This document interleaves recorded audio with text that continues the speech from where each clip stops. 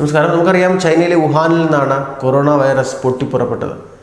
China ഇപ്പോൾ എല്ലാം നിയന്ത്രണ വിധേയമാക്കിയിരിക്കുന്നു. മരണങ്ങളെല്ലാം കുറഞ്ഞിരിക്കുന്നു. ഒന്നോ രണ്ടോ മരണങ്ങൾ വീതം റിപ്പോർട്ട് ചെയ്യപ്പെടുന്നു. ഏറെ ആത്മവിശ്വാസം കൂടിയിരിക്കുന്നു. ജനങ്ങളുടെ ജീവിതം സാധാരണ നിലയിലേക്ക് പോയിരിക്കുന്നു. ഇപ്പോൾ വുഹാന്റെ അവസ്ഥ എന്തായിരിക്കും?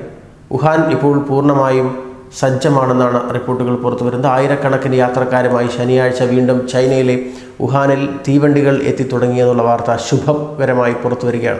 ലോകത്തെ കാർന്നു തിന്നുന്ന കൊറോണ വൈറസ് മഹാമാരിയുടെ പ്രഭവ കേന്ദ്രമായ ഹുബൈ പ്രവിശ്യയിലെ വുഹാൻ മാസങ്ങൾ അടച്ചിട്ട ഒരു അവസ്ഥയിലായിരുന്നു. ഇപ്പോൾ വീണ്ടും സാധാരണ ജീവിതത്തിലേക്ക് തിരിച്ചു വരികയാണ് ആ നഗരം. യാത്രാ വിലക്കിന് ഇളവ് ലഭിച്ചതോടെയാണ് തീവണ്ടി സർവീസ് പുനരാരംഭിച്ചു തുടങ്ങിയത്. യാത്രക്കാരിൽ ചിലർ രണ്ട് മുഖാവരണം വരെ അണിയുന്ന ഒരു സാഹചര്യം അവിടെയുണ്ട്. ഒപ്പം കൈയുറയും വൈറസ് പ്രതിരോധ കുപ്പായവും ധരിച്ചെത്തിയവരെ അതേ വേഷത്തിലെത്തിയ റെയിൽവേ ജീവനക്കാർ സ്വീകരിക്കുകയും ചെയ്തു. തീവണ്ടി നഗരത്തോട് അടുക്കുമ്പോൾ താനും മകളും അത്യന്തം ആകാംക്ഷയിലായിരുന്നുവെന്നാണ് മുപ്പത്തിയാറുകാരിയായ ചൈനക്കാരി പറഞ്ഞത്. പത്താഴ്ചയായി ഭർത്താവിൽ നിന്നും അകലെയായിരുന്നു. തീവണ്ടി എന്നത്തേക്കാളും വേഗത്തിലാണ് ഓടുന്നത് എന്ന് തോന്നിയെന്നും വുഹാനിലിറങ്ങി മകൾ അച്ഛന്റെ അടുത്തേക്ക് ഓടുന്നത് കണ്ടപ്പോൾ സന്തോഷം കൊണ്ട് കണ്ണു നിറഞ്ഞുവെന്നും അവർ പറയുകയാണ്. വൈറസ് നിയന്ത്രണ വിധേയമായതോടെയാണ് വുഹാനിലേക്ക് വീണ്ടും ജനങ്ങളെ പ്രവേശിപ്പിക്കാൻ തുടങ്ങിയത്. നഗരത്തിലേക്കുള്ള തീവണ്ടികൾ നേരത്തെ തന്നെ പൂർണമായും ബുക്ക് ചെയ്ത് കഴിഞ്ഞിരുന്നു. ജനുവരി മുതലാണ് നഗരം പൂർണമായി അടച്ചിട്ടത്. എന്നാൽ വുഹാനിലുള്ളവർക്ക് പുറത്തേക്ക് പോകാൻ ഏപ്രിൽ എട്ട് വരെ അനുവാദമില്ല. വിമാനത്താവളങ്ങളും തുറക്കുകയുള്ളൂ. വുഹാനിൽ അൻപതിനായിരത്തിലധികം പേർക്കാണ് വൈറസ് ബാധ സ്ഥിരീകരിച്ചത്. മറ്റ് നഗരങ്ങളെ അപേക്ഷിച്ച് മരണവും ഇവിടെ കൂടുതലായിരുന്നു. ശനിയാഴ്ചയും മൂന്ന് മരണം ഉണ്ടായതായുള്ള റിപ്പോർട്ടുകൾ പുറത്തുവന്നു.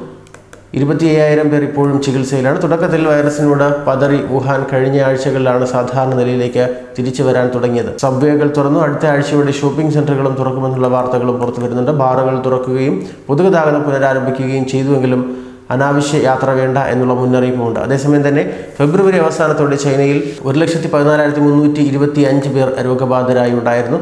രോഗത്തെ നേരിടാൻ വേണ്ടി ചൈന നടത്തിയ മരുന്ന് പ്രയോഗം വഴിയുള്ള കാര്യങ്ങൾ അതായത് കൃത്യമായ രോഗനിർണയം രോഗം കണ്ടെത്തുന്നവരുടെ കോണ്ടാക്ട് ട്രേസിംഗ് അവരുടെ ഫലപ്രദമായ ഐസൊലേഷൻ യാത്രാ നിയന്ത്രണങ്ങൾ രോഗാണുക്കളെ കൊന്നൊടുക്കാനുള്ള ശുചീകരണ പ്രവർത്തനങ്ങൾ തുടങ്ങിയവ നടന്നിരുന്നില്ല എന്നാണ് ഗവേഷകർ ചൂണ്ടിക്കാട്ടുന്നത്. അതിൽ കൃത്യമായ നടപടി ഉണ്ടായിരുന്നുവെങ്കിൽ ഈ പകർച്ചവ്യാധി ഇന്ന് ലോകത്ത് പടർന്നതിന്റെ അറുപത്തിനാലിരട്ടി മാരകമായി പടർന്നതിന് അതായത് ഇപ്പോൾ മരിച്ചതിന്റെ അറുപത്തിയേഴ് ഇരട്ടി പേരെങ്കിലും മരിച്ചതിനെ ആ അർത്ഥത്തിൽ ചൈനീസ് ഗവൺമെന്റ് ചെയ്തത് എത്രയോ വലിയ ഒരു കാര്യമാണ്. അതുകൊണ്ട് മനുഷ്യരാശിക്കുണ്ടായ ഉപകാരം വളരെ വലുതാണ്. ആ പഠനം അവിടെ നടന്നിരുന്നുവെങ്കിൽ വലിയ പ്രശ്നമൊന്നും ഉണ്ടാകില്ലായിരുന്നു. ഗവേഷകർ ഒരു കാര്യം കൂടി പഠന വിധേയമാക്കി.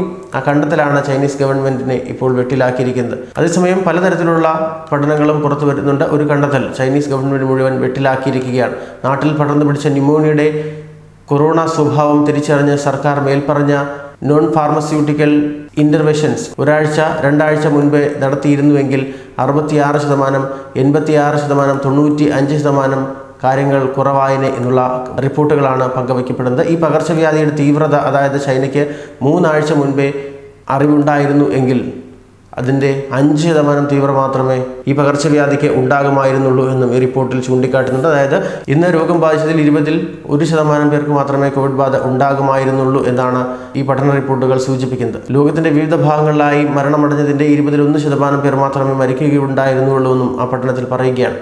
യഥാർത്ഥത്തിൽ ചൈനീസ് ഗവൺമെന്റിന്റെ കെടുകാര്യസ്ഥത മനുഷ്യരാശിക്ക് ദ്രോഹം ചെയ്തു എന്നുള്ള ഒരു വിലയിരുത്തലും ഇതിനോടകം തന്നെ ഉയർന്നു വരുന്നുണ്ട്. പലതരത്തിലാണ് ചൈനയുടെ പ്രവർത്തനങ്ങളെ നിരീക്ഷിക്കപ്പെടുന്നത്.